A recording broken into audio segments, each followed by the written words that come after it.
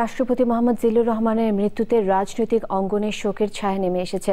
রাজনীতিকরা বলেছেন, জিল্লুর রহমান শুধু দলের জন্যই নয়, মহান মুক্তিযুদ্ধ ও গণতন্ত্রের অগ্রযাত্রায় গুরুত্বপূর্ণ ভূমিকা রেখেছেন। সঞ্জয় চাকি রিপোর্ট।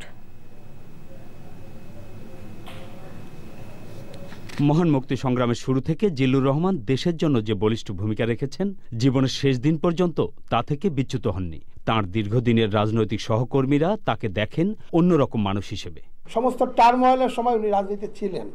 এই পাকিস্তান আন্দোলনের সময়ও ছিলেন বাংলা বাংলা ভাষা আন্দোলনে ছিলেন গণতান্ত্রিক আন্দোলনগুলি ছিলেন বাংলাদেশ স্বাধীনতা আন্দোলনে ছিলেন।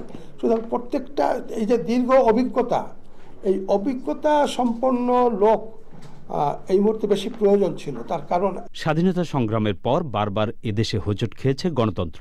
সেই গণতন্ত্রকে আবার ফিরিয়ে আনতে বলিষ্ঠ ভূমিকা রেখেছেন তিনি।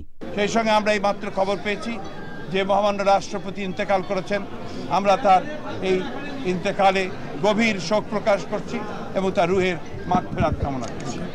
জাতির প্রতিটি কান্তি লগ্নে তিনি আদর্শ নীতির প্রতি এবং মুক্তিযুদ্ধের চেতনার প্রতি অনুগত থেকে জাতীয় রাজনীতির দিক নির্দেশনা যেরকম নির্ধারণ করেছেন, তেমনি দৃঢ়তার সঙ্গে সেই নীতি বাস্তবায়নের জন্য অটলভাবে দাঁড়িয়ে থেকেছেন। রাজনীতিবিদরা মনে করেন তার মৃত্যুতে দেশ একজন সত্যিকারের গণতন্ত্রকামী রাজনীতি হারালো। সঞ্জয় চাকি, চ্যানেল আয় ঢাকা।